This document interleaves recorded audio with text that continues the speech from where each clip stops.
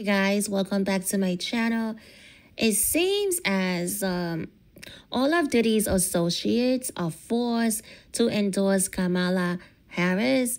I don't know if they think they will be pardoned uh, by uh, Kamala, if Kamala is going to push their little secrets under the rug. I don't know, but it seems strange. So check this out. So Elon Musk criticized Jennifer Lopez for speaking out against Donald Trump while remaining silent about her ex-boyfriend Diddy over the years.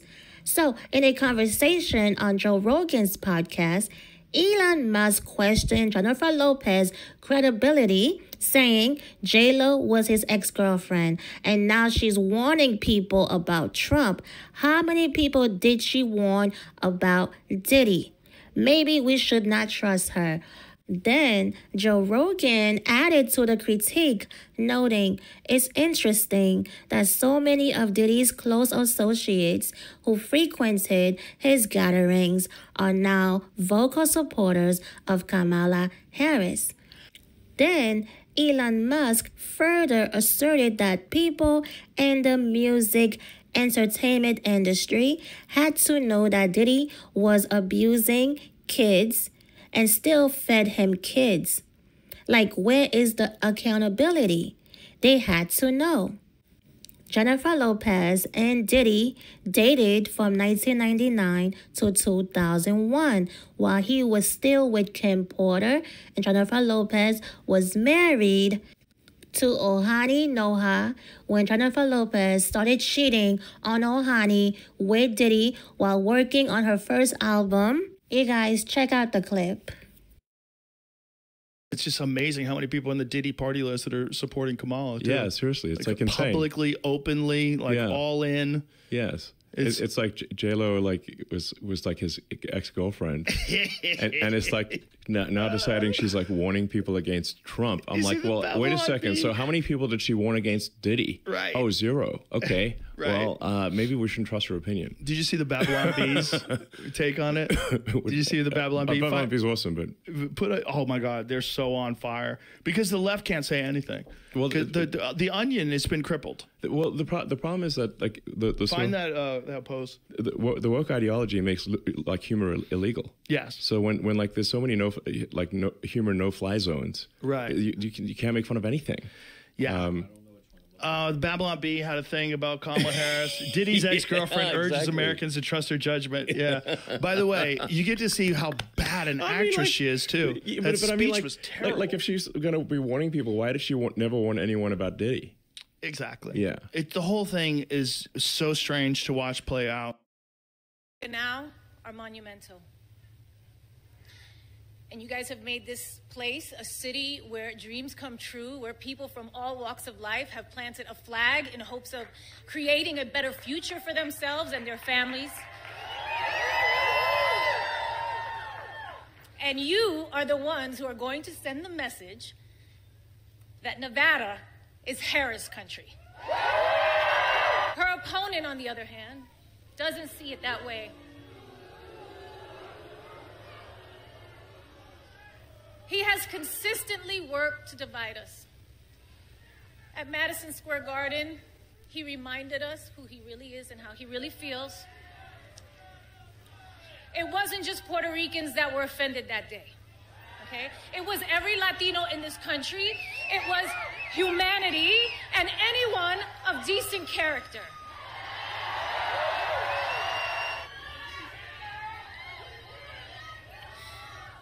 Promised myself I wouldn't get emotional. But you know what? You know what? We should be emotional. We should be upset. We should be scared and outraged. We should. Our pain matters. We matter. You matter. Your voice and your vote matters. I am an American woman. I am the daughter of Guadalupe Rodriguez and David Lopez, a proud daughter and son of Puerto Rico. I am Puerto Rican. Soy Boricua carajo. And yes, I was born here, and we are Americans. I am a mother. I am a mother mother, I am a sister, I am an actor and an entertainer, and I like Hollywood endings. I like when the good guy, or in this case, the good girl wins. And with an understanding of our past and a faith in our future, I will be casting my ballot for Kamala Harris for President of the United States proudly. Proudly. You can't even spell American without Rican. this is our country too, and we, we must exercise our right to vote on November 5th. So, despite the lawsuits, all the lawsuits and indictment, Jennifer has not publicly commented on the allegations against Diddy. Recently, she was asked about it, but she ignored the question and walked away like a coward. She wasn't she was signing autographs and someone in the crowd asked her about Diddy and then she stopped and ran like a true coward. So yeah, we don't care what Jennifer Lopez have to say about anything, especially about politics.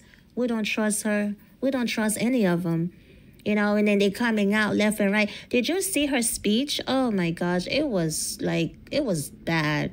She kept reading the teleprompter. Her eyes kept shifting. Her eyes were just shifting. She did a bad job reading that teleprompter. I mean, she's been in the industry for years, so she's used to reading teleprompters. But I don't know what happened at the Kamala Harris rally because she did terrible. She, like, her eyes just like she could not get any words out without looking at the teleprompter. And they're all like that. All of them were like that. Beyonce, oh my gosh, did you see that one? She went up there for three minutes. She said, I'm not here as a celebrity. What? I didn't know you could take the title on and off. Can you remove the celebrity title whenever you feel like it? How are you not there as a celebrity? You are a celebrity. You can, I mean, and then she said, I'm not here as a politician.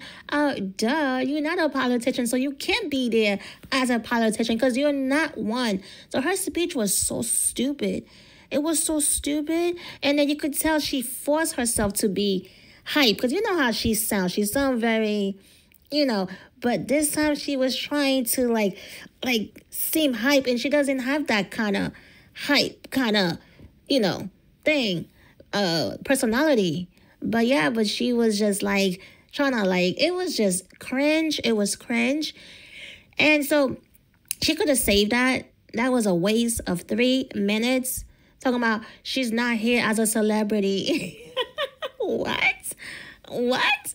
So you can take it off on and off whenever you feel like it? Talking about she's not here as a politician. Duh, you're not a politician. So what? You guys, it was so cringe. And oh my gosh, Cardi B. I really was trying to avoid talking about Cardi B's speech, but oh my gosh, that was the worst. So her teleprompter broke, okay? She stood there at the podium for a full minute. Okay, she kept saying, one second, guys, one second. And then, and then she was calling for her assistant uh, Precious. I guess that's her name, Precious. and then she was trying to fill in, you know, saying little things to give Precious time to bring her cell phone to her. It was so bad. And then she claimed she wrote it. We know she did not write it. She only all she did was they write they wrote her the speech, but all she did was add little, you know, her personality in it. Like she was a little things, you know, you know how she is little ghetto stuff. So she'll add little stuff in there to make it her own. But she did not write that speech. I mean, the girl was reading from a teleprompter, okay? I mean, on the phone, I'm sorry, because the teleprompter broke. So she was reading the speech on her cell phone. That was a mess. Oh my gosh. These and then she claimed she was not going to endorse anyone. She criticized Biden, right? Remember when they when they had her come out and um, endorse Biden when Biden was going against Trump, right? And then, oh my goodness, she, it was bad, right? And then recently, she was saying how the economy's bad, everything is expensive, even for her as a rich person, right? Eggs are bad, uh, eggs are so high. She was saying all these things about, you know, what was going on with the economy. And then, of course, her being a little puppet, because she's a puppet. They all are. And yeah, next thing you know, Cardi B is looking foolish on that stage at the rally for Kamala Harris. It's crazy. I don't even know if I want to play her speech. it was bad. You know what? You guys need to see this. So um, I'm going to end this video, but I'm going to play this clip for you guys. Thank you for tuning in. Please like, please subscribe, and I will see you on the next one. Peace. What's up, Milwaukee?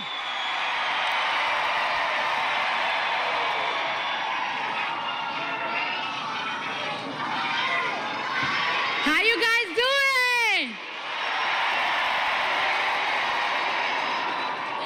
I'm nervous. I'm excited. What's up, y'all?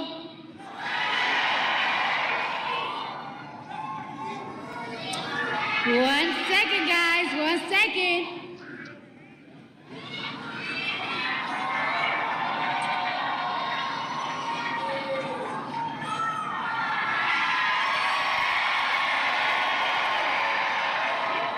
Okay, so I don't take lightly the call. Sorry, guys, I'm a little nervous. I'm a little nervous, guys. I've been waiting for this moment this whole life, my whole life.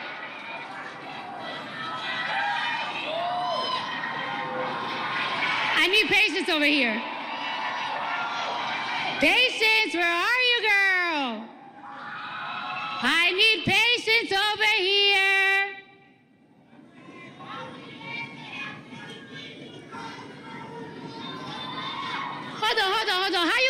tonight? How are you guys doing tonight? Are we ready to make history? Are we ready to make history? Are we ready to change these four years? No. Are we ready to change the next eight years? Because we're going to make sure we have Kamala Harris in office for eight years. Thank you. All right. President Kamala Harris, thank you for having me. I do not take lightly the call to show up, the call to speak up, the call to deliver a message that's been on my heart for a hot minute now. Now, I took my time writing this speech, so I'm gonna make sure I deliver it right. Because I got something I've been wanting to say for a long time. I've been saying it on Twitter, on my Instagram, and I'm ready to tell it to you now. Y'all ready to listen? Right, now. All right. Just like Kamala Harris, I too have been the underdog. I've been underestimated. My success belittled and discredited. Let me tell you something. Let me tell y'all something.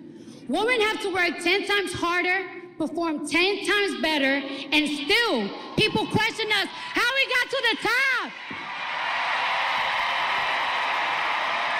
They be like, how she got there? Hold on, let me get, let me, let me warm up.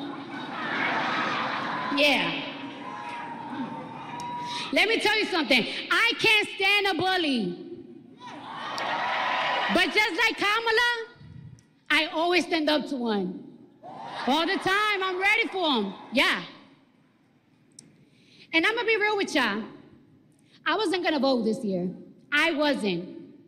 But Kamala well, Harris joining the race, she changed my mind completely. I did not have faith on any candidates until she joined the race and said the things that I wanted to hear, that I want to see next in this country. All right? I believe in every word that comes out of her mouth. She's passionate, she's compassionate, she shows empathy, and most of all, she is not delusional. Yeah. Yeah.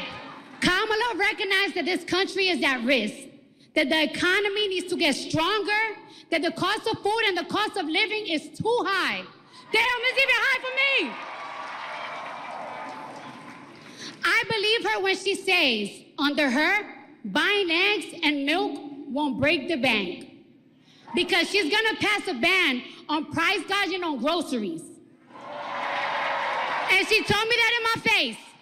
So she better not lie to me in my face. Yeah. I believe her when she says she will make housing more affordable by providing Americans with $25,000 in down payment assistance. Yeah, yeah, hold on. I got more. Yeah, yeah, she's promising a lot. And I believe her when she says she will provide a tax cut to 100 million middle class Americans. That's a lot of Americans. And that includes $6,000 for parents in the first year of child's life. Y'all remember when they used to do that? Y'all remember when this country used to do that? Yeah. And speaking of healthcare, let's talk about it. Let's talk about healthcare. Did you hear what Donnie Trump said the other day? Y'all heard what he said? All right, I'm gonna tell you right now. Let me get let me drink my water. Yeah, stay hydrated. He said he's gonna protect women whether they like it or not. He he's gonna protect women whether they like it or not. I'm repeating it. Donnie Dunk, please. Protection for women, especially if we're talking about maternal and mental health care, isn't telling them what to do with their bodies. It's supporting them and giving them the care they need for what they choose to do with their bodies. I don't play that. Donald Trump don't believe women deserve rights. And when those rights are taken away, they are nowhere to be found. When a mother is going through postpartum, he's not there to hold her hand. When a child is in foster care or in a shelter because their mother is not mentally stable or financially stable to take care of them, they're not there. The people outside planning, yeah, yeah, they're not there. They're all gone. Those people outside Planned Parenthood screaming at women's faces, they don't be there when women go through stuff. They don't.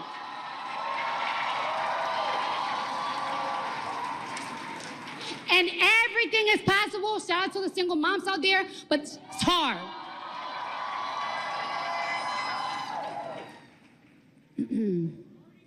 Trump says he's going to protect women whether they like it or not. Well, if his, if his definition of protection is not the freedom of choice, if his definition of protection is making sure our daughters have fewer rights than our mothers, then I don't want it. I don't want it. I don't want it.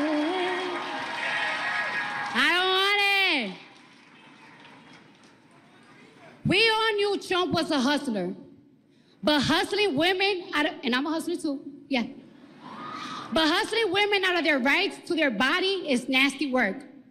Hustling Americans out of their hard earned money by selling Trump watches, Trump sneakers, and Trump Bibles. By the way, the watches is $100,000. Yeah, yeah. Made in China, another country he discredited, is nasty too. Let me ask you a question. Let me ask you, wait, is Milwaukee in the building? Is Wisconsin in the building? Yeah. Let me ask you this question. Do we really trust this man with our economy? Our economy! A man who cares only about making himself rich and cutting taxes for his billionaire friends. I don't even get a tax cut.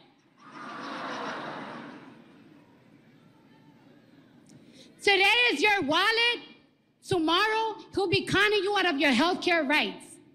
And that's a fact. I want you to hear that again. Today, he's hustling you with the, oh, buy my sneakers. Tomorrow is going to be your health care rights. He's going to take it away from you. He's going to snatch it.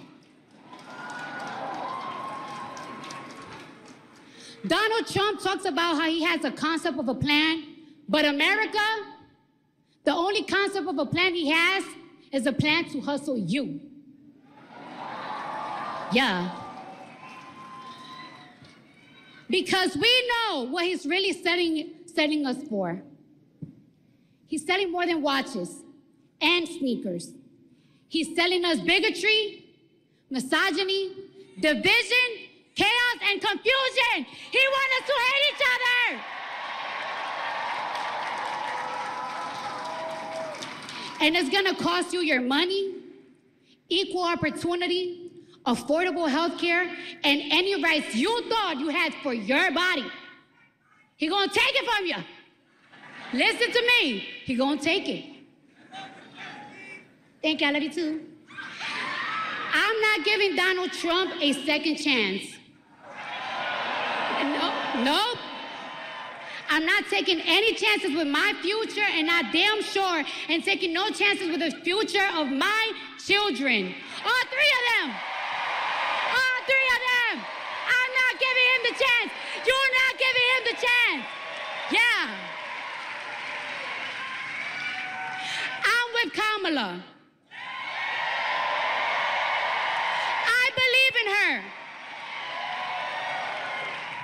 In America, I believe in you to turn out on Tuesday. Turn out and turn up on Tuesday.